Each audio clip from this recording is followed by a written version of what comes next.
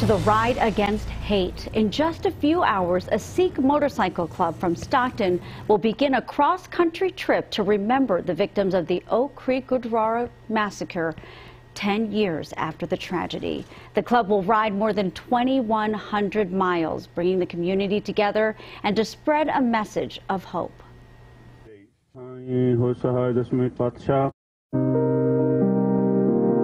We saw that the 10th anniversary was coming up for Oak Creek, Wisconsin. And Sikhs in Oak Creek are unalienable right to life and liberty and the pursuit of happiness. Those rights were stripped. There's been a lot of talk about hate, you know, around the nation, and we just wanted to combat that. Why not go for a ride toward the 10th anniversary and honor those who lost their lives while upholding Sikh values?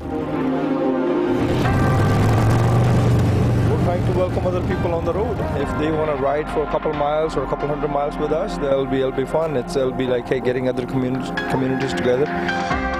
One of the key aspects of the Sikh community is Sarbat da Bhala, um, welfare of all, and Chardi Kala, eternal optimism. So we want to preach that message because at the end of the day, it's you know the welfare of all, not just the Sikh community.